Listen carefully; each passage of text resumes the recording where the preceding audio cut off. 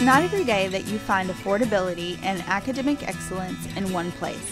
But that's what you'll find when you step foot on a Rowan Cabarrus campus or log in to our online portal.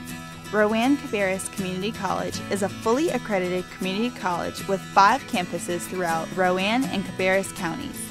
As the eighth largest community college in enrollment, we offer 49 degrees, 31 diplomas, and 99 certificates.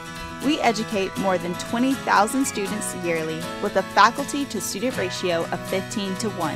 Whether you want to save money, live closer to home, or enjoy the perks of a smaller institution, Rowan Cabarrus is the best choice for students who want to complete one of our many degree or certificate programs to begin your career or take advantage of our transfer programs to a four-year institution. We are ready to help you take the next step toward your goals.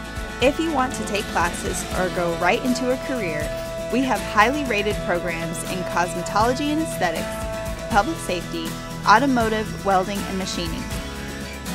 Our state of the art science and technology labs offer some of the latest innovation by simulating real life experiences. Our top notch healthcare programs offer great career paths in high demand areas across the country.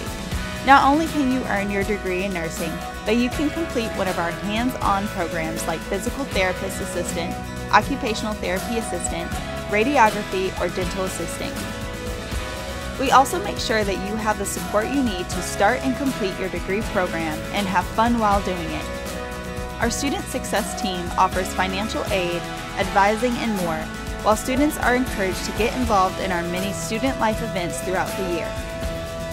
Rowan Cabarrus is dedicated to meeting you where you are, and we make it our priority to help you complete your degree or certificate program and achieve a better life for yourself, your family, and your community. We'll see you soon and look forward to having you at Rowan Cabarrus Community College.